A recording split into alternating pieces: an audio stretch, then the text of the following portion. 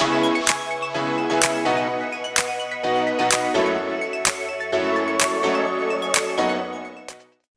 and welcome back to the TCM YouTube channel for the fifth of our season previews for the eight women's regional sides. It is the turn of Thunder, and joining us today is Jack. First of all, how are you, Jack? I'm very well, thank you, Harrison. How are you? I'm good as well, thank you. Let's start by looking back at 2022 first. Seventh place in the Rachael Heyhoe Flint, and then third in the Charlotte Edwards Cup group. What did you make of the campaign for Thunder? Uh, I think it was a, an up and down year last year for Thunder. There's definitely some good points that we could build on, certain individual performances. But I think last year there needed probably wasn't as cohesive a year as they would have liked. Definitely could see that they were still building from the year before, and I think that is going to be something they're going to continually do. Um, I think when you look at last year, I think you've got the case of they were either very good uh, in the batting or very good in the bowling. Didn't seem to have a situation where they would be able to combine them both. And I think that's probably probably going on further on to what we'll talk about later, but that's their strength to look at for this year. Definitely, but I think let's look at some of the positives itself from the season last year. The captain Eleanor Threlkeld, especially in that Rachael Heyhoe Flint, made 266 yeah. runs, an average over 50. What did you make of her campaign? I think her campaign last year, especially in the Heyhoe Flint, was fantastic. She really was leading the team from the front.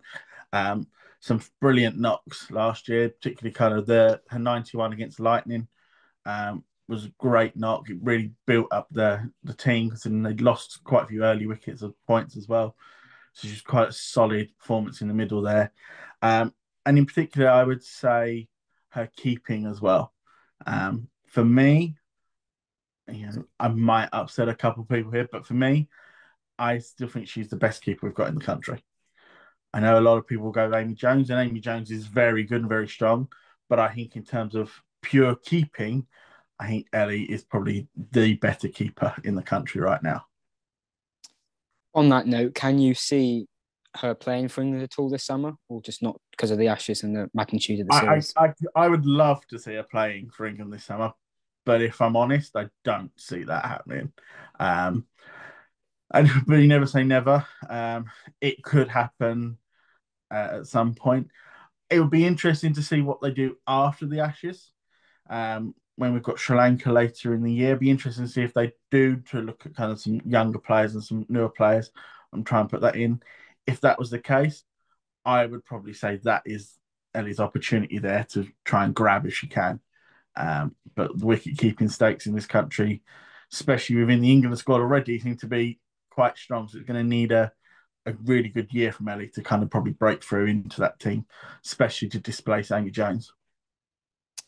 Definitely, but one other player in the Thunder squad that does have England honours, Emma Lamb, when she was available for the Thunder last year, fantastic in both formats, and then even more, even better when she had that England shirt on. What did you make of her yeah. 2022? Uh, now I've been saying for years that Emma Lamb is probably going to be England opener for years and years to come. I think she is one of England's great openers we've got. I think she's going to become even better. You know, when you look at last year, the three games she played, it was about kind of 200 odd runs, kind of ridiculous. Uh, ridiculous. I think I've got it down somewhere. It's kind of like a at 71s, I think she was going at at the opening. And, you know, that just set a massive platform up for Thunder every time she was playing. And I think, you know, her um, alongside Georgie Boyce last year was a brilliant opening partnerships that they were, that they were completing. And again, I think she'll just go from strength to strength. I think at the point that she is available for us, she's going to be great this year again for Thunder. You touched on Georgie Boyce there. She's now obviously left the club. How big of a hole is that to fill? I think that is going to be quite a big hole. Um, certainly, her opening partnership with Emma was great last year. Um, the top order has always been slightly fragile. It'd be interesting to see what they choose to do this year, um, how they choose to change the, the batting order around to accommodate her. Um, but I, I, she is going to be a big hole. I can't see that being a big hole. But saying that, there are a couple of players um, that I do think probably could take that spot for her and be quite strong. Good stuff. And we'll just take a look at the bowling department from last summer. Alex Hartley leading wicket taker for you guys and 50 over stuff. How important is her experience in this side? I think she brings wealth of experience to the side. Um, but not only on the pitch, I think also off the pitch. You know, she brings that enjoyment to the team. I think as well. The mm-hmm. team realize, you know, yes, you've got to play hard, you've got to work hard, you've got to work for everything you want to do, but also you can have a bit of fun as well. You know, let's face it, we, we we've all seen Al around on either on the pitch or kind of in the media. She she likes to have fun, and I think that comes through on the team. Um, with her, you know, her performance last year was great. You know, the performance against the Southeast Stars, the six for twenty four, you know, that was a magical innings watching that bowling, and you could see it did lift the team and just kind of you know, brought out the best in the players on that day. We were unlucky in the game itself, how it finished, but um, I do think she will be uh, a big, a big, uh, a big help again to the team this year. Definitely, and other bowlers, Laura Jackson and Hannah Jones, integral across both formats. What did you make of those two and them as well going forward this summer? I think they're they're underrated. Actually, I think they they often go, you know, by the by, you know, people look at the Thunder squad and they see Kate Cross, Sophie Ecclestone, you know, Alex Hartley, and then they don't kind of often look at Hannah Jones. Hannah Jones seems to always be able to throw the ball to Hannah Jones, and she seems to pick up that wicket breaking partnership, and she's able to do that every time. Laura Jackson is brilliant. I love Laura Jackson. Like last year, um, in the Charlotte Edwards Cup, there was two brilliant in swinging slower balls that she did to get rid of um, Nat Sciver-Brunt and Lauren Winfield Hill, and quite frankly, I defy anybody to watch them and not say that they were two of the best deliveries you will see. It was just they were wonders to watch, and I do think this could be Laura's year. I reckon. Fingers crossed, it could well be. Just yeah. one more point we'll touch on for the season. We mentioned how they did Thunder as a whole struggle, just the three wins across both formats. How do they go about, well, first of all, increasing that number and then pushing for higher honours up the table? I think for them to increase, I think they need to look at the kind of coercive game uh, as one. As I said before, they either seem to be able to be really good in the field or really good with the bat. They don't seem to be able to combine them both during games. I think that is a big key thing they need to look at. They also need to look at not there was, a tendency last year to be getting bowled out before the end of an innings. They need to be looking at that again, you know, playing the full innings working that through. Um, and I think, you know, to to get stronger this year, I think they have made some very clever choices in their selections, which I know we'll come on to. Um, and I think their